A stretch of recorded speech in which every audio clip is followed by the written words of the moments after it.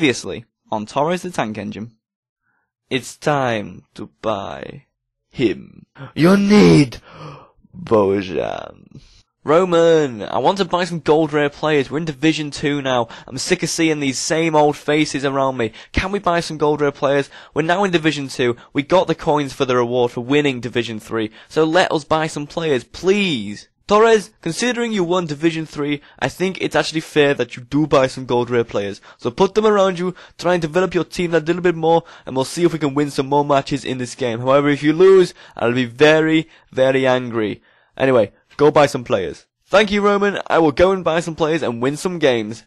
Hello everybody, my name is Bodens and welcome back to Torres the Tank Engine. You've heard what we need to do this episode, we need to start filling our squad with gold rares, so we're going to go and buy Juan Fran and also Jose Enrique next. But anyway, before we get into the episode, if you're looking to buy or sell any coins, make sure to check out FIFA Coin Traders, their link are down below. Fast, reliable and a trustworthy source for coins, and of course you'll have your automated system so you'll be in and out in a few seconds. But there you go, that's what we bought before the match and into this episode fully. And we're going to come against a 3-4-1-2 BPL team with a Brazilian thrown right in the centre there, Mr. Lucas, who is not the transferred version, so he's not too good. If he actually moved him with David Luiz there, would get a bit more chemistry, but he's a bit idiotic, and eight minutes into the match, we're going to take the lead with Fernando Torres, the tank engine himself. But instantly he's going to come back with a really nice goal actually. I think that was Balotelli doing the back heel to I think Podolski finishing with his weak foot. And you see there um, Torres scoring past us, so it's now 2-1 to him, and Torres the Tank Engine has betrayed us. Uh, but a deflection from the cross from, I think that was Adriano, and Canales is going to stick that into the back of the net.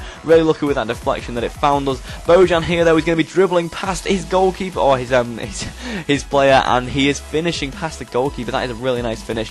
Um, and considering that was near post on that kind of, like, an angle and everything, it's really, really strange. I know that um, it's OP, but not that OP. Uh, Bojan here, though, still tearing up the defence and he's going to shoot and rocket out of the crossbar. Unlucky not to score there. Still 3-2 to me. We're going to take a shot with, I think that is Camacho, and he's going to be have a saved right there. That is unlucky for us.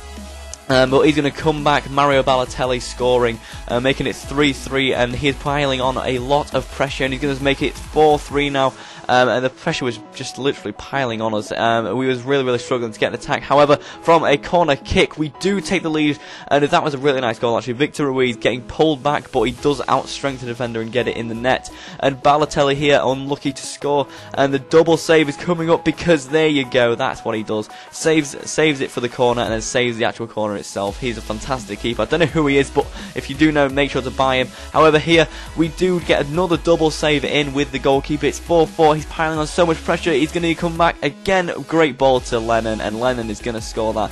That was a fantastic match. Fair play to him. 5-4 he won, and it was really unlucky. We, as you can see, it was like an even match, but he did have a lot more shots on target compared to mine that were off target. So first match in Division 2, first loss in Division 2. Unlucky there, but we're going to go and change the fitness around a little bit. Um, I think that is Michu going into the squad. We've still got maybe, or maybe it's Canales on the left, Michu on the um, right. So we do have two left-footed players at camp. And the next match we're going to come in against is a 4-4-2 Liga BBVA team with a random Brazilian thrown in there again as the former Dede. So um, this is going to be a weird match. As you see, though, if he moved Kaká to the left, he would have that little bit more chemistry. So he's a bit stupid. I don't really get these people. But we take the lead in 10 minutes with Michu, and that was a fantastic, fantastic finish. I really do like Michu considering he's like not you know, he's not like these super high rated people. As you can see, that was an own goal, making it 2 0 to us. Um, but yeah, Michu is a really strange player. You'd think from the stats he's not like, or from his in game stats, he's not too good, but um, I, found, I find him really, really useful to use, and he's a fantastic player, even though, like, um, his weak foot is really, really useless to be honest, as it's like, I think it's two stars maybe, um, it's just pretty much useless. But as you can see, Michu on this side, is he going to cross it in? A double tap cross, and that's a fantastic header from Rodrigo, the partnering striker for Torres. Here though, he nearly gets a goal back from the 4-1 defeat that he's doing right now. Um, he came off the post, unfortunately. We do get a penalty here.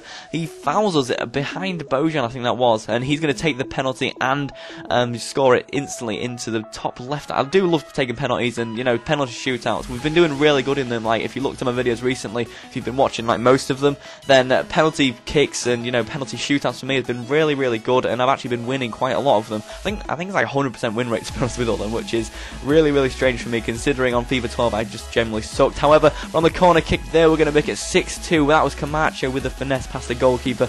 And another corner kick here. Can we score again? Yes, we can. It's 7-2, I believe and we do score again and there you go after screen whatever and we have got our first three points in division 2 so anyway, after that match, we're going to go buy Puyol, who costs 5,000 coins. Don't know if he's going to be too good with that slow pace, but we're going to plop him into the squad. We do need a defender to swap around. We're also going to buy Xavi Garcia in a 4-2-2 formation, so it's all in formation. And we're going to go buy two contracts just to uh, plonk on two players, and also a fitness card for um, Fernando Torres there. And that is what the team is looking like going into the next match. We do play Puyol and Xavi Garcia, so we've got a few gold rares in there now, and it's looking really, really nice team. And then the last match for this episode is against this guy with a BBVA side with a random German thrown in there this time. So these people we're coming against lately is really, really strange, but Philipp Lahm is a fantastic defender anyway. Maybe on that six chemistry that he does have, he may um, do well against me, but six minutes in, Torres is going to score. He's had a fantastic form this episode, so hopefully he can score again in this game. Sergio Canales there with the follow on that goal. Bernat here having a long shot.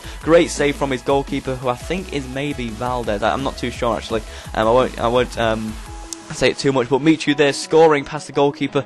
Um, a fantastic finish with his right foot, to be honest. That's his weak foot, so it wasn't too bad. Um, Torres there getting his second goal that he wanted. Not too bad on a volley there, and that was his um, strong foot as well. And also, we're going to tramp it past him. He did pause the game and annoy me, so um, I thought I'd just tramp it. And then in the last few um, minutes of this first half, he is going to how am I going to have to say this? Quit. There we go. That is it for this episode, guys. Unfortunately, seven minutes long, not too long, uh, but um, three, games in an episode is not too bad in my opinion. So if we won 5-0 at the end of the match, match details show that we did dominate the game. He didn't have any shots, we had more possession. Basically, total domination. That is our second win in Division 2, making us six points and a few points from it, stopping us from getting into the relegation zone. So guys, if you've enjoyed, drop a like, see if we can get over 300 again. If we could it in like the first few hours, that would be awesome. Thank you anyway. If you're new around here, subscribe for more, and as always, I hope you have a great day.